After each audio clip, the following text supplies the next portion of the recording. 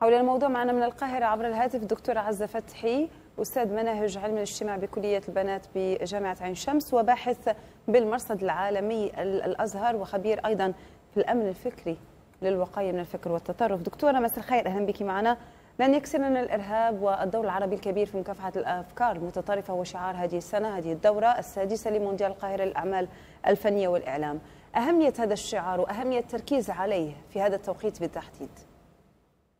اولا مساء الخير. مساء النور. حضرتك هذا الشعار بيثبت حاجة واحدة بس هو بيؤكد وبيعطي رسالة أننا امه لن لن تنهزم ابدا أمام الإرهاب وأن المغول الجدد أو التتار الجدد لن يهزموا الأمة العربية ولن ولم يهزموا ابدا الإسلام الصحيح. وإحنا أخطأنا جميعا بما فينا دول غربية وأمريكا عندما واجهنا الإرهاب بالأمن. وضعنا أجهزة الأمن في مواجهه في مواجهة الإرهاب. ولكن الفكر لا يدحض إلا بالفكر. وبالتالي هذا الشعار للمنتدى الآن أو أو هذا العام بيؤكد أن الثقافه الفن التعليم الإعلام هم الطريق إلى دحض هذا الإرهاب. لأن العقل المستنير أو المواطن المستنير المثقف يبقى عنده حاجة من التفكير الناقد اللي هو لا يقبل السمع والطاعة. لا يقبل ابدا أن يأخذ بالآراء على أنها حقائق ويستطيع أن يفرز كل ما هو سليم وكل ما هو خطأ. هذا هو دور الإعلام والفن والثقافة. طيب عن طريق ماذا؟ هل من خطوات محددة يمكن اتباعها فعلا لدحر الإرهاب لمحاربة هذا الفكر؟ نعم نعم. إعادة إعادة صياغة الثقافة العربية من جديد لأننا إحنا كنا أمة مأزومة مش مهزومة. كنا أمة مأزومة. بمعنى كنا أهملنا الثقافة إلى وقت أهملنا التعليم إلى وقت أهملنا الفن إلى وقت. وكان في موجة من الفن الهابط أو السلع الفنية الهابطة. ولكن في استراتيجية جديدة إن شاء الله إن بالفن وبالتنوير بالثقافة بالتعليم. بدمج مفاهيم الأمن الفكري. لأن أنا عايزة أقول لحضرتك حاجة.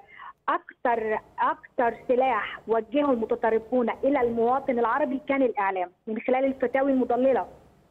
من خلال تهديداتهم السافره من خلال إعلام داعش والأفلام قمة في التقنية. هم وصلوا للشباب من خلال المواد الإلكترونية على صفحات الإنترنت. وبالتالي إحنا هنحاربهم بنفس السلاح. وكان المفروض ناخد الخطوه السباقيه لكن معلش كل حاجة ملحوقة. آه الأمم ما بتروحش في يوم. إن شاء الله بإذن الله من خلال الثقافة التعليم الإعلام الفنون إن شاء الله ننتصر عليهم. وأيضا بالمواجهه الأمنية لمن رفع السلاح في وجه الدولة الوطنية. الدور العربي أو التقارب العربي كيف يمكن أن يشترك في نقطة محددة فعلا في سبيل محاربة هذا الفكر؟ يبقى عندنا منظومة فكرية وثقافية موحدة يعني نتفق على المفاهيم والآليات. إحنا إحنا إحنا يكون عندنا ايديولوجيه معينة أو أو رؤية معينة لمكافحة الإرهاب.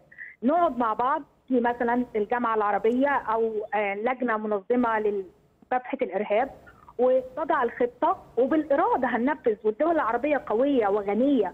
غنية بأبنائها غنية بأموالها غنية بأفكار ولادها. فإحنا لا ينقصنا شيء ولا حتى ينقصنا خبرة الأجانب. ولكن إحنا مش هنخترع العجلة. يعني. نبدأ من حيث انتهى الآخرون. مع اعتبار بقى الآتي أن كل دولة لها خصوصية في الإرهاب. يعني مصر عندما يلعبون يلعبون على حتة إن الاميه الثقافية والفقر مثلا. نعم. السعودية بيلعبوا على على حتة أخرى طائفية. في العراق على الإثنية والطائفية وهكذا. مهم. أما في أوروبا وأمريكا فهم بيلعبوا على حتة أن الإسلام مضطهد. ما فيش خمسه كبار في في الأمم المتحدة من المسلمين. نعم. آه، قضية فلسطين.